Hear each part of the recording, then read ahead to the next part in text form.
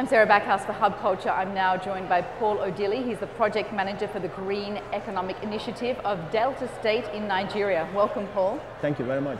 First of all, tell me a bit about Delta State for those people who aren't familiar with it. Okay, Delta State is uh, one of the 36 states in Nigeria. It's also one of the, and this is very important uh, for people who may have heard of Niger Delta without knowing that there's a region in Nigeria called Niger Delta, which Delta State is just one of the nine states that make up um, that region. Um, we're a population of 4 million people, land area of uh, 17,000 kilometers. We have a um, coastal line of 120 kilometers. So that, that basically is um, State. Uh, well, uh, in addition to that, potentially we produce 40% of Nigerian crude oil export, which is 2. Nigeria produces 2.3 million uh, barrels of crude oil a day we potentially produce, should produce, really. That hasn't been happening for some time for all kinds of reasons, but potentially we should produce 40% of that uh, crude oil for the country. So there's a great deal of oil deposit and oil activity going on in that state. Okay. And is that where the green initiatives come in? yeah, that's, that's we, we, see, the, the, thing is, um, one of the unfortunate fallouts of oil exploration in the last 50 years in Delta State is that it has really devastated the environment. It has impoverished our people. It has uh, destroyed our ecosystem uh, on account of oil spill. You know, oil companies have all these arguments about, um, you know, we have questions about the uh, asset integrity uh, uh, management of the oil companies. There's issues about um, best available technology of the oil companies, which we don't think they are deploying. There's issues about um, third-party interference in the oil infrastructure. All of these have been arguments back and forth. But the thing is, the danger in all of that is somehow it has, whether by negligence or by deliberate act, has led to the devastation of the environment. So that today, um, most of our people who ordinarily are used to depend on the, on the land uh, or, or, fishing and farming, which they are mostly, have lost out on that. Mm. So there is a great deal of social dislocation and economic impoverishment. And that has led to a lot of crises. Mm. Uh, so the key for us really is to see how we could restore the environment back to the people. We need to repopulate the river.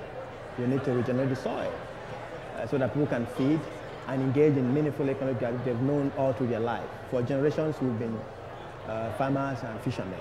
Now this is an opportunity for us to, to, um, to do that. And the way to do it for us is by going green. Uh, to really, one of the practical steps we've taken is to um, commission a report, uh, a Delta state assessment and restoration project report.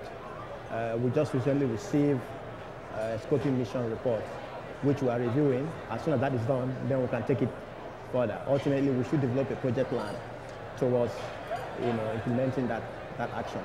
So given that the oil is something that you're not going to give up, presumably you're going to continue exploring, in what ways can you help these local people who have been displaced? Yeah, okay, well, uh, just to return to part of really what our assessment report would advise us on, which it hopes to, is to also for, stop further spillages. Okay. Uh, there has to be an enforcement of, uh, for enforcement of compliance. Yes. Uh, so that oil companies, even if they are doing their job or their work, would also be very mindful of the environment. That's one leg of what we expect to achieve in the long term. Uh, but in the meantime, part of our short-term uh, strategy is to find a way to move our people into renewable options. Uh, part of what we try to do is to create opportunity for them to go solar, to use solar energy as an alternative means of uh, uh, you know, addressing their energy needs, especially domestic energy needs, um, which is what we started doing um, in Delta State, quite a number of those activities going on now. Uh, one of the immediate plans we intend to execute next year is to send some of our community women to India, uh, Barefoot College in India, to become solar engineers. Uh, the idea is that if we equip them with that skill, they can come back and use it as an option in terms of um, you know, uh, driving the, the alternative option you know, uh, derived from solar to service their domestic energy needs. That's one of the steps we're taking towards that. Well, renewable energies really is a great future. So yes, it is indeed. Yes. We see that as the energy of the future, yeah, really.